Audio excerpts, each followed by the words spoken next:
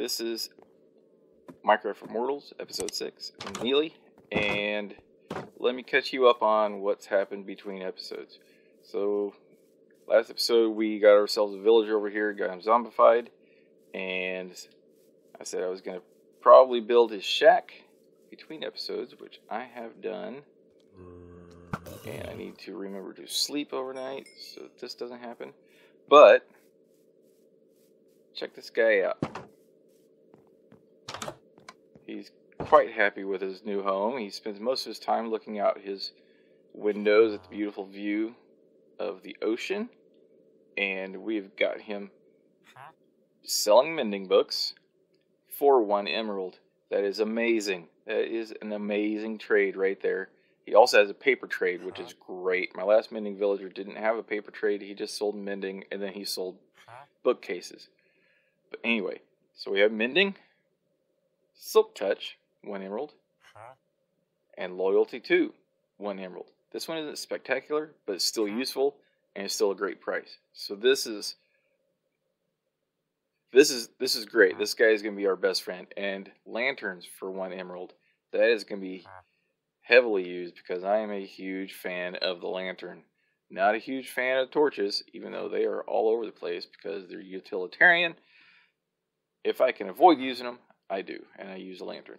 So, Doogie, you and I, we're gonna be we're gonna be good buds. But the problem with having mending is you need a steady source of XP to mend your tools up with. So, that's what we're to be doing today. Another thing I did, which we'll probably get back to, I'm just to kind of point to and say, hey, it's there, is we have a sugarcane farm, a proper sugarcane farm built up now. So I have can make paper for days to to sell to our villager, get some emeralds, keep his prices down. We'll get back to that probably next episode because I need to build a building around it still. But anyway, today I wasn't really looking looking for this. I was more or less just kind of replenishing my resources from building the sugarcane farm. So I was down in my strip mine and I broke into a cave and just kind of started exploring around. And one thing led to another, and I accidentally fell into a ravine.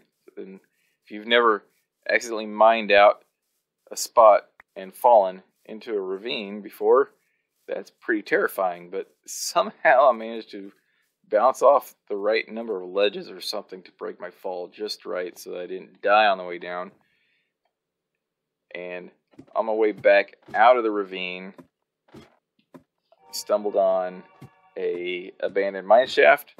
And then looking around that thing, turned a corner. There was some skeletons, and I saw the flames, and got really excited because, yep, we have a skeleton spawner right near the base. This basically goes straight up to the surface, and you saw it was not that far walk from there to here. So, this may have to change slightly. I might have to move this just a little bit once we get our AFK room and the mob grinder mechanism set up, which I'm going to be using the basically the lava kill. You, know, you step on a pressure plate, you hit them, they go up in the lava, then they burn to death, and you get all the XP for them. I will link. There's a tutorial out there that I'm going to be following. Uh, Pixlriffs has done a really good tutorial on an updated version of somebody else's design. I don't remember the name of the other person's, but I will credit both people in the description. And it's relatively low part count as far as pieces, but it's kind of a complicated build. So what I think I'm going to do is I'm going to dig out the floor and then just dig out the whole wall into the AFK room, build the thing, and then rebuild this wall around it. So that way I know everything is exactly where I want it to be, and I'm not trying to tunnel through little one block wide spaces. Anyway, I need to lower the, the ceiling and lower the floor, which means a lot of digging, and I also need to go find some slime because I need three sticky pistons for this thing, which means I need to go to the swamp and spend a couple nights out in the swamp hunting slimes. Hopefully, I come across at least one because I only need three balls of slime for this project. But I want to get this thing going because I need XP, I need to mend up my tools, and I need, I need, I need, I need, I need this. This has to happen. So probably gonna go do a lot of the digging and building stuff off camera. I'm not going to make this room too fancy because honestly, I'm never going to look in here. So I really don't care how it looks inside here. But the AFK room, on the other hand, that thing, that thing's got to be cool and it's got to be cozy because I'm going to be spending a lot of time in here and it's going to need to look good. So I'm going to get to work. I'm probably going to head over to the swamp and see if I can find some slime. And I will meet you guys back here in a little bit. All right, see you in a bit.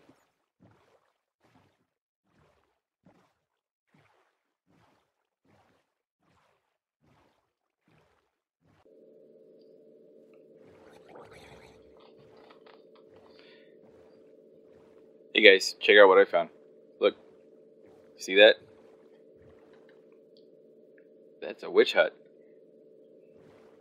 that's going to be a project for another day, but that's good to know.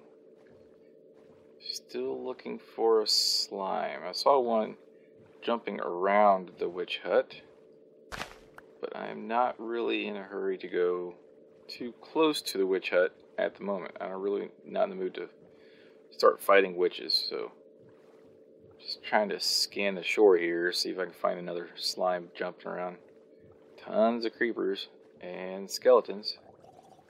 And there's some drowns chasing me around in the water right now. But I'm going to keep looking. I'll check back in. I just wanted to show you guys that because that's a good find as well. Be right back.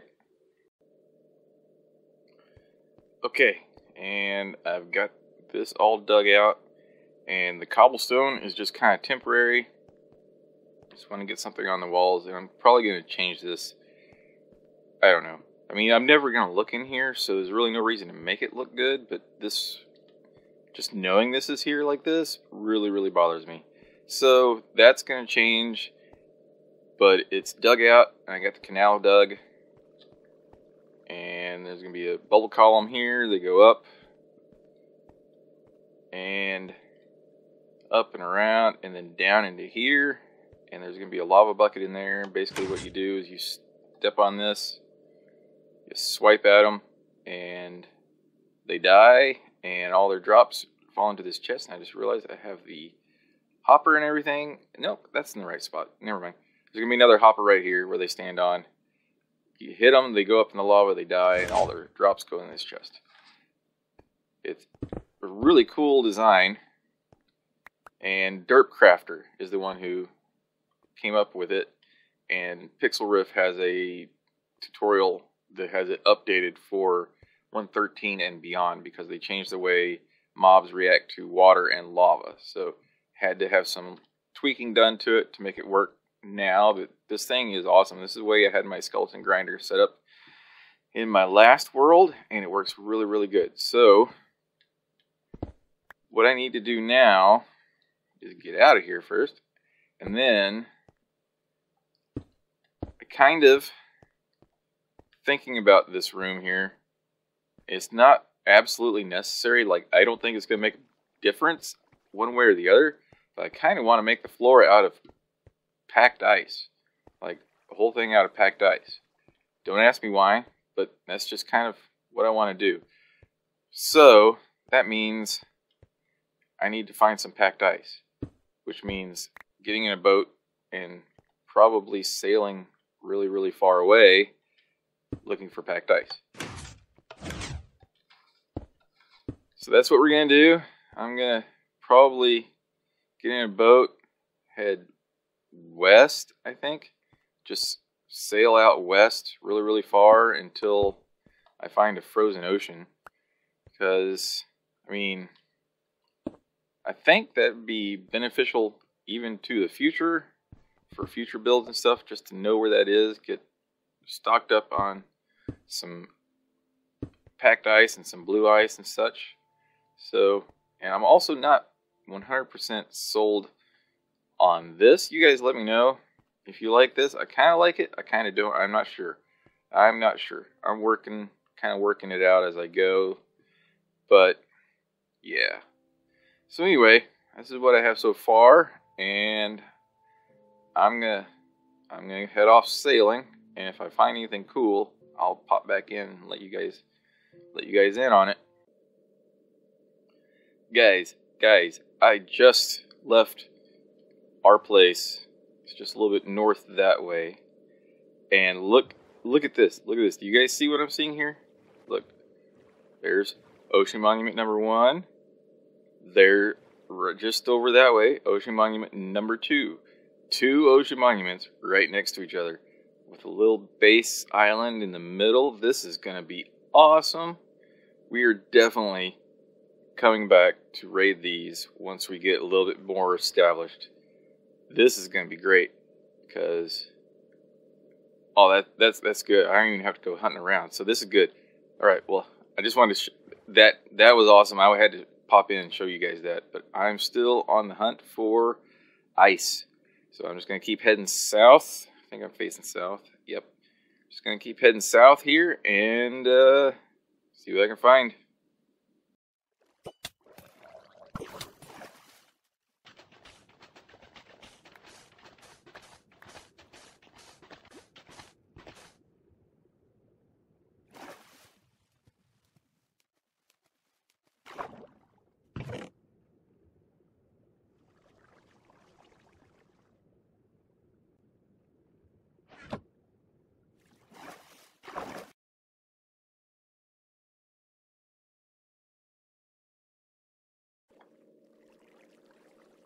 Okay, so I sailed really, really, really far away. I think something almost about 2,000 blocks south of here.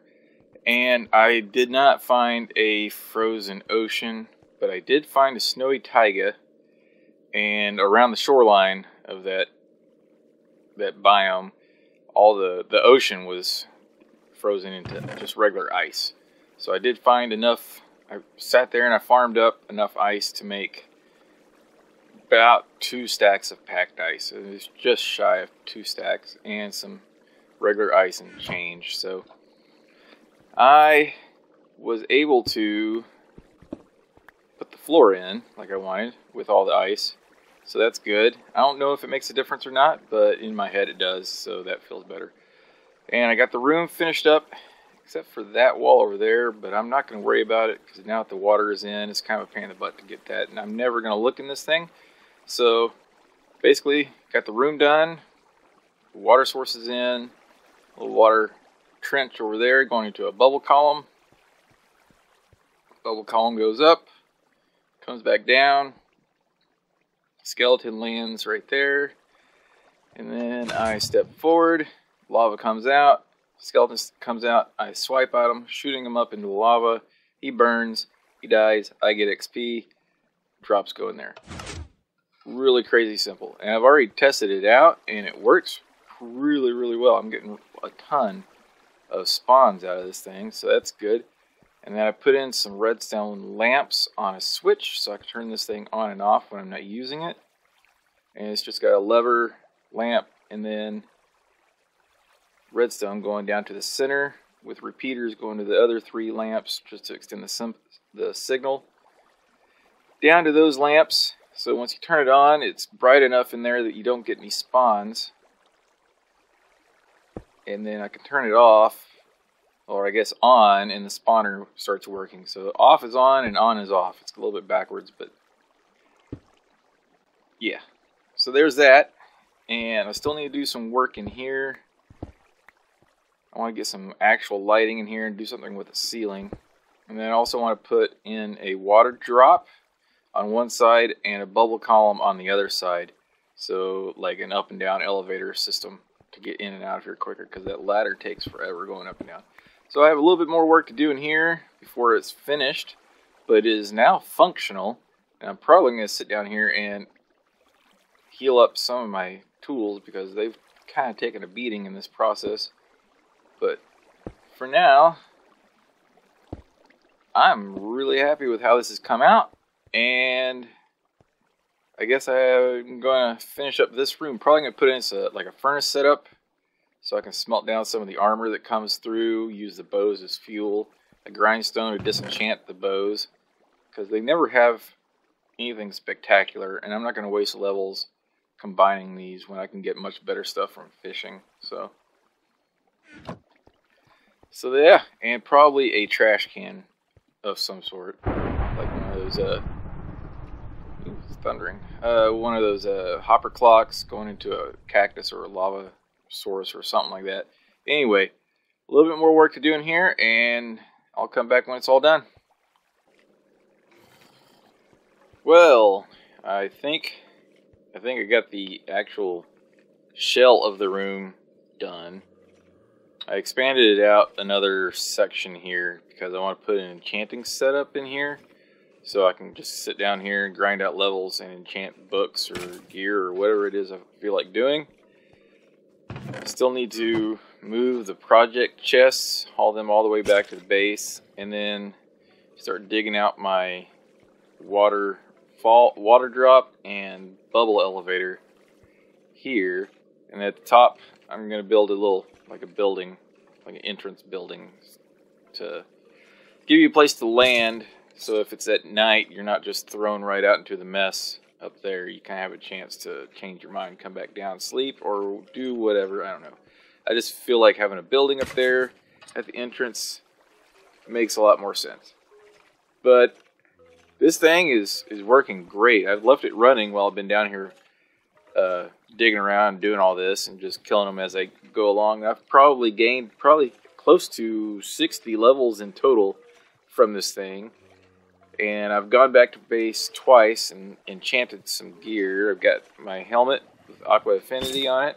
And I got a nice pair of boots. Depth Strider 3, Feather Falling 2, and Protection 4. So that's probably, that's going to be a really nice pair of boots there. And leggings just have protection and unbreaking, which isn't bad. And a chest with fire protection and unbreaking. And I got my sword enchanted. Sharpness 4. The knockback I could take or leave, but it just kind of came with the sharpness enchant.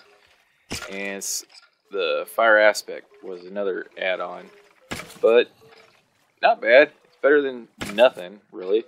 So that's kind of what I've been doing.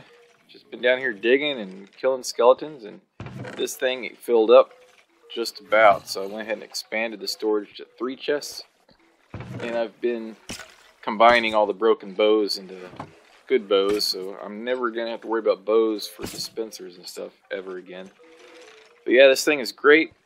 They come down here, they go up the water channel, they come across here, drop right down, and I just have to step up here, give them a swipe, and uh, there they go. And all the drops end up in here, and you end up collecting a few in your inventory as well, but that's not too bad. But yeah, this thing is works great, and I couldn't be happier. I'm just need to do some little tweaking down here, like some interior decorating. I need to sort out the lighting because these torches have to go, but I'll figure that out. Probably might hang some chandeliers or something from the ceiling and get these elevators installed. But that's probably going to be it for today.